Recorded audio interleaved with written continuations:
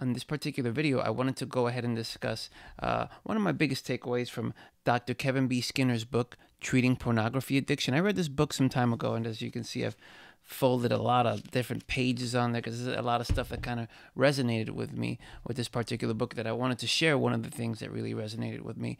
I do suffer from a porn and sex addiction. For the person maybe who doesn't know what a porn or sex addiction is, let's say sex addiction when I first heard that, it's something that I thought, oh, this person must be, be a nymphomaniac. Like, you just have to have sex all the time. It's not so much that, it's more of a using sex and pornography to cope, numb, and escape from feelings of frustration, of anger, of boredom, isolation, loneliness, sadness. I wanted to read this one part for you, like I said, that really resonated with me in terms of the same line of things that I just told you right now. And this is on page 115 of the book. Is this one particular part called Ignoring Emotional Issues. And I'm going to get to like the middle of this particular page here. When emotions are not dealt with in an appropriate ways, relapse is the likely outcome. Some of the common emotions that lead to relapse include curiosity, need for excitement, frustration slash stress, irritation, anger, boredom, pain, loneliness, worry, and fear. Far too often, people live in a state of emotional numbness. This comes from a lack of knowing how to resolve problems. When we do not know how to solve something, our mind wants to take us to a place of safety. But when we are in this mindset, we simply survive rather than thrive. I can definitely relate to that because uh, I even do this with food sometimes when I'm feeling bored or isolated. You just kind of, uh, or like I said, maybe uh, it's like a rejection or something that happened that's gotten you really upset. You argued with a family member or a really good friend. So, and it could just lead to like, I just want to like not think about this. And sometimes there's even other addictions that come from the same kind of realm of like coping, numbing, and escaping these emotions like like a drug addiction or even alcohol, right? Uh, how is it that I've learned to deal with this over time? And this is something I'm still going through. This is not something that I'm completely out of the woods yet. I'm starting to, but not completely out of the woods yet. But how is it that I'm dealing with it? This definitely when I'm feeling isolated or I'm feeling lonely, I reach out to friends. I call friends.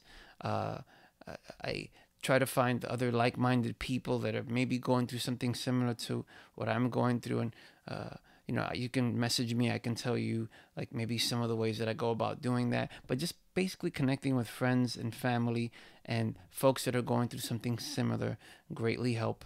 And also what I've noticed and, and this all falls under the umbrella of self-care right and I heard this on the Porn Reboot podcast. J.K. Amazy, he has his uh, Porn Reboot YouTube channel. I highly recommend it. He talks about a lot of great stuff on there, definitely. And uh, I've learned so much from. I would listen more to his podcast and watch the YouTube channel. It's just easier to consume for me. I'm more of a podcast guy than a video guy but I really recommend it. But one of the concepts that he introduced honest podcast that really resonated with me was lack of self-care. When there's not when there's a lack of self-care you it's easier to kind of slip into like watching porn or overeating or like i said a drug addiction or even alcohol addiction. And lack of self-care is let's say are you exercising enough? Are you getting enough sleep? Uh, are you eating healthy and not just eating a bunch of garbage and I would even throw into that, like, are you connecting with friends and family? Are you just getting outside, moving your body?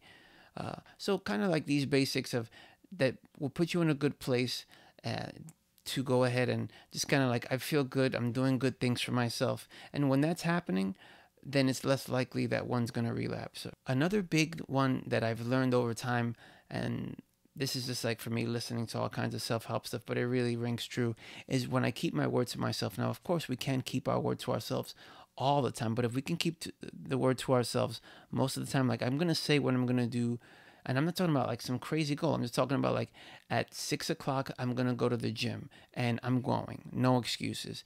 And keeping to your word that you actually are gonna go ahead and six and going through with it it feels fantastic after.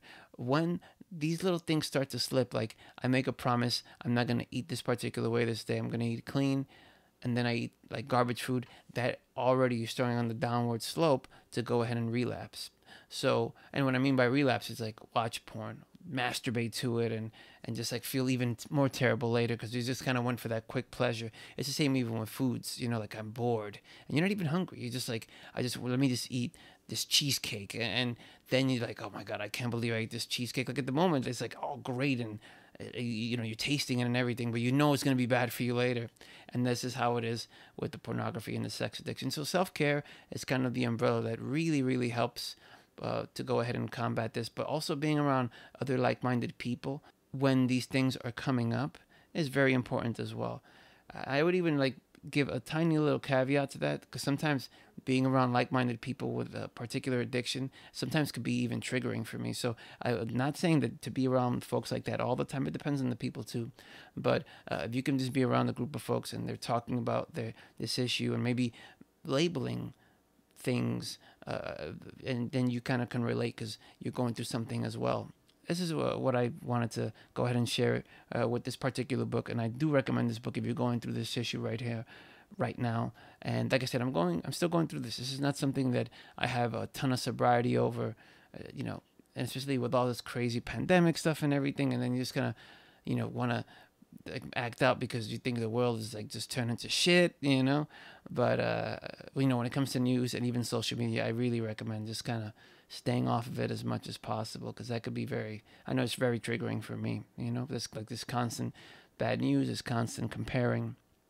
But i've gone on long enough. If you read this book or if you have any thoughts of anything that i said please comment down below. You can buy this book. I'm going to leave an amazon affiliate link in the description for this video and by buying the book through that link you'll support both the author and myself definitely Thank you so much for watching this video. Like I said, please post any of your thoughts and comments. I actually always prefer thought comments because that way we can actually have a conversation. I really prefer that than even thumbs up. I mean, that's those are great too, but yeah, that's what it is. Thanks so much for watching.